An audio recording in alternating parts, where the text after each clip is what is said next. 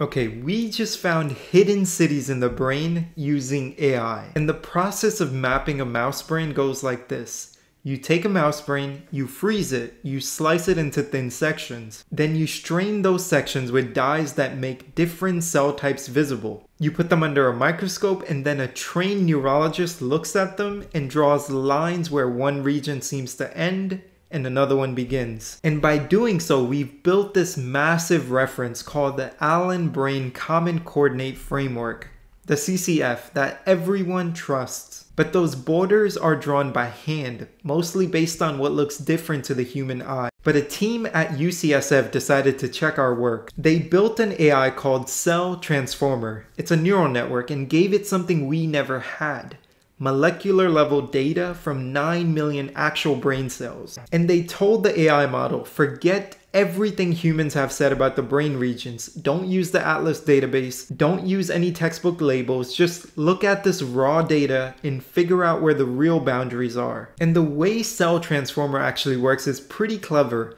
The AI doesn't try to process the entire brain at once. That would be computationally impossible at this scale. Instead, it focuses on neighborhoods. So it picks a cell, looks at the 50 or so cells surrounding it within about 85 micrometers, and treats that as a local community. Then it plays a prediction game. The network tries to predict what genes the center cell should be expressing based on what its neighbors are doing. And to get good at this task, the AI has to learn some fundamental things about brain organization. It has to figure out which cells naturally belong together, which neighborhoods have molecular signatures. And it has to learn where sharp transitions happen, pattern changes that signal a boundary between regions. And nobody tells it these cells are neurons or this is a motor cortex. The network just learns from millions of examples. For example, cells in this neighborhood tend to express these specific genes, but cells in this type of neighborhood express different ones, and there's usually a clear boundary between them. And by doing so, the AI first rediscovered essentially everything we already knew.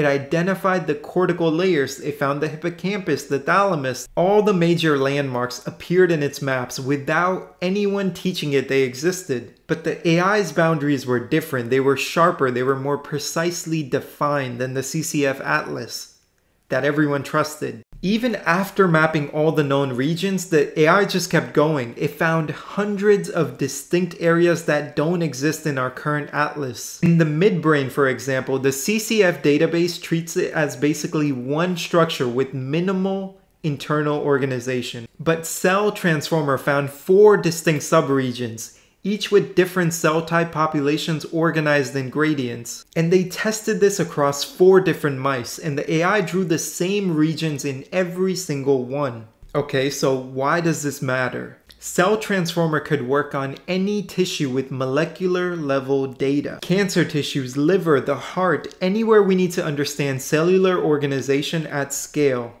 So this isn't just a better brain map, it's a new way to see how any organ actually organizes itself at the molecular level, which means better understanding of diseases and faster potential discovery of treatments. And we've studied the mouse brain for over a century. We thought we had it figured out, and an AI just found hundreds of regions we completely missed.